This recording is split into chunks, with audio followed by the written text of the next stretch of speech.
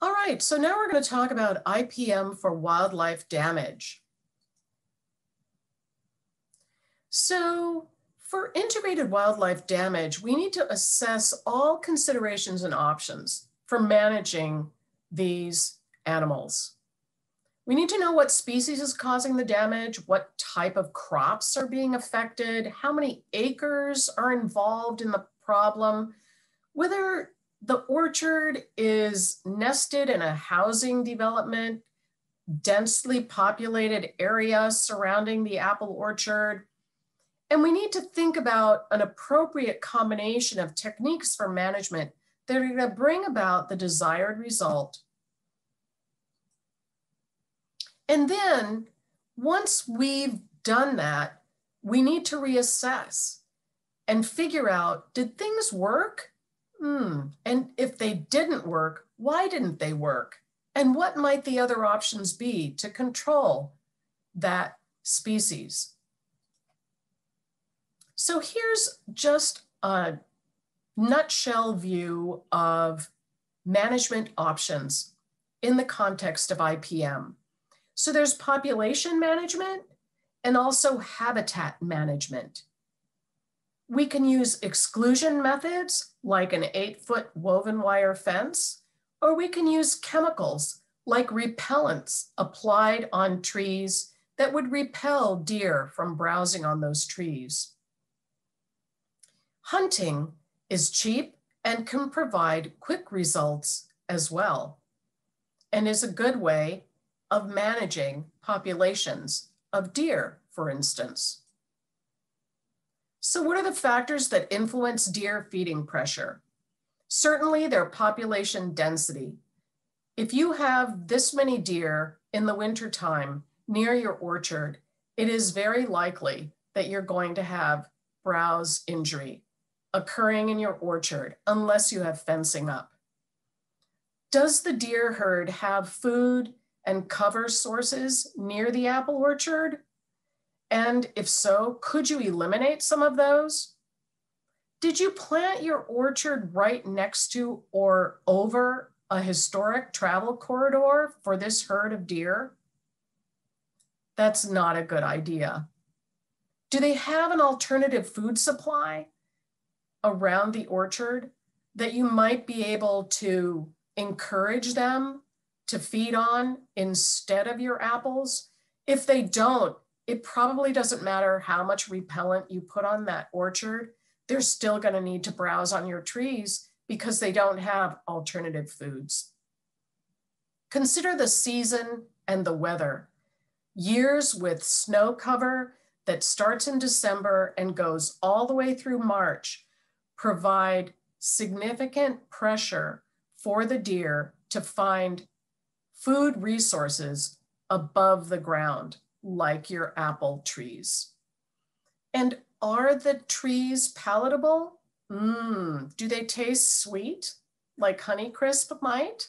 I don't really know, but think about that. And if the deer has previously been feeding on the apples, they probably will continue feeding on the apples. The landowner has control of deer hunting or hunting for any nuisance wildlife on their property. Keep that in mind and tailor the hunting to meet your local needs. Make sure you understand that you can restrict who hunts, when they hunt, where they hunt, and how they hunt. You can have marksmanship requirements if you are asking a hunter to control nuisance wildlife for instance, deer, on your property. You need to make sure you check local, town, and village discharge ordinances for hunting and comply with those ordinances. Keep in mind that you'll have best results if you're managing the deer on a landscape scale, not just in one small area.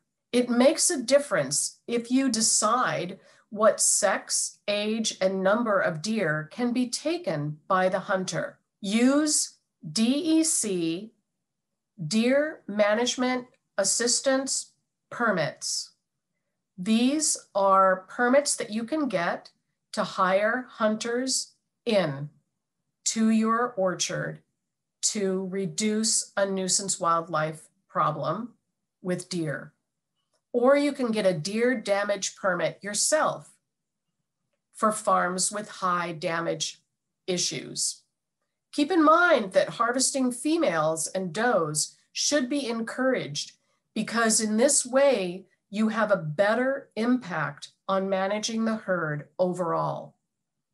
And most apple growers do consider hunting to be somewhat effective, not 100%, but somewhat effective at managing deer. Really, the most effective method for managing deer is with fencing. Fencing provides the best long term solution. It is really important to exclude the deer with fencing before they have prior experience browsing in your orchard because they can push through that fencing if they truly want to get in there. Avoid travel corridors.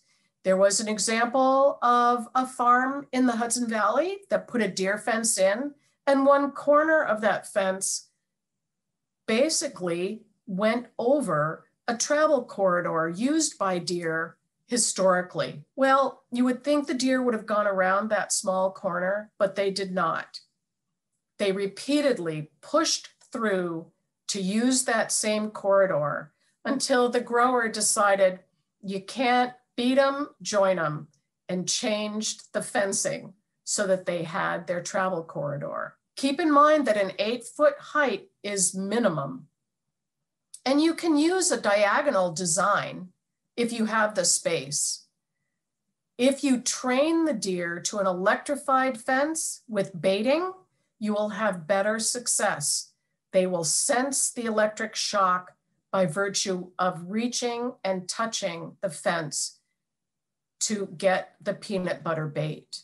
Invisible fencing and dogs has had positive economic return in research that was done in the 80s.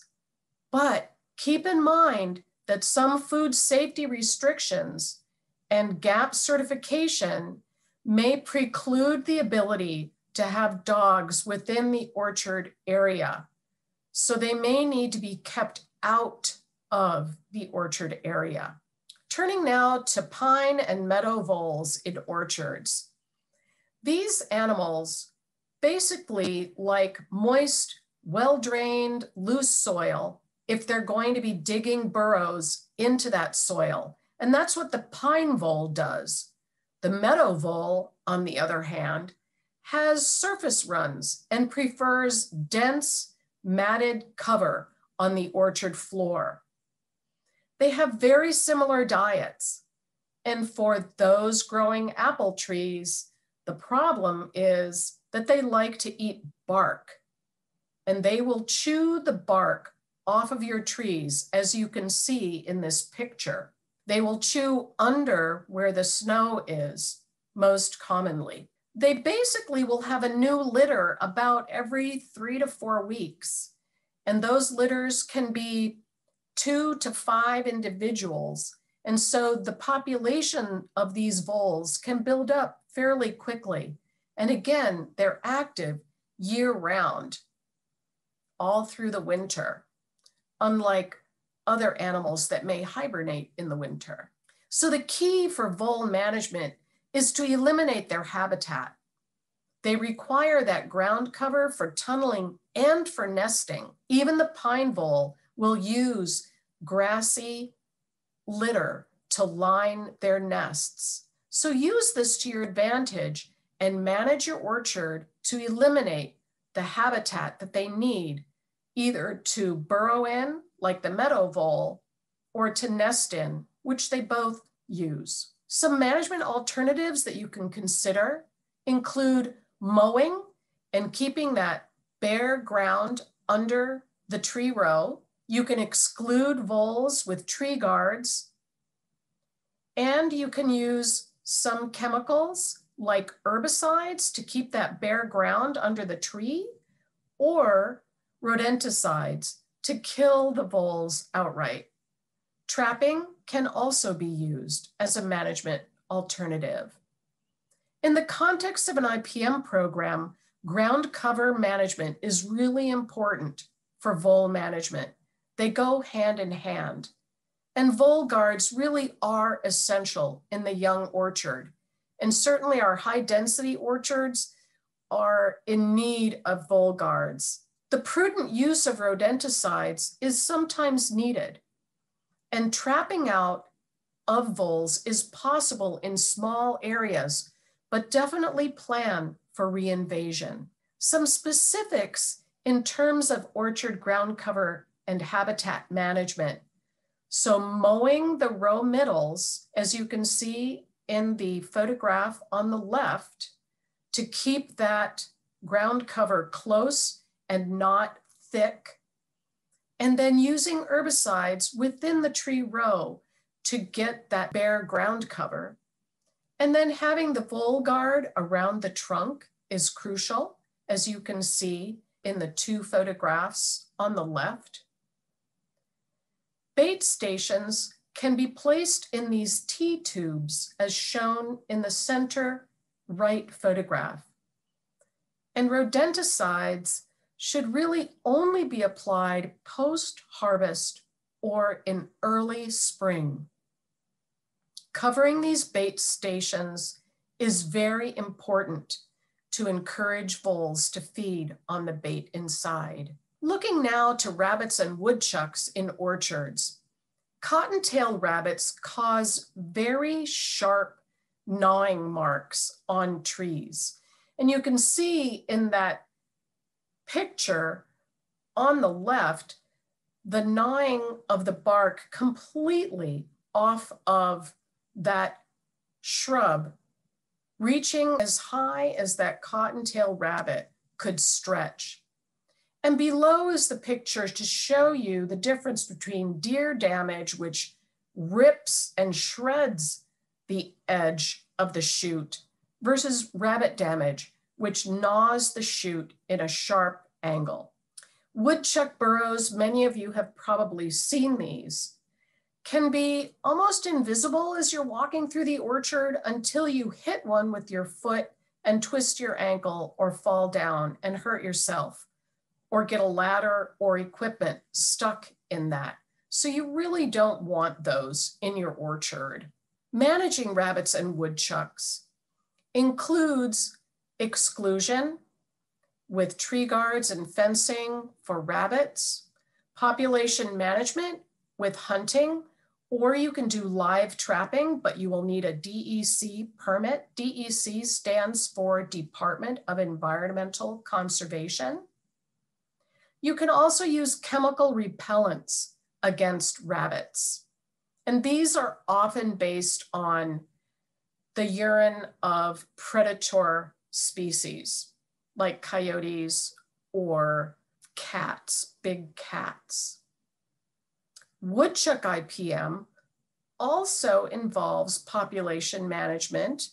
You can shoot or trap woodchucks, or you can use gas cartridges, which are, it's a cartridge that you light and you push it down into their burrow and cover quickly the burrow. You need to know where the entrance and exit are because typically there's two openings to their burrows and basically it smothers the animal inside that burrow.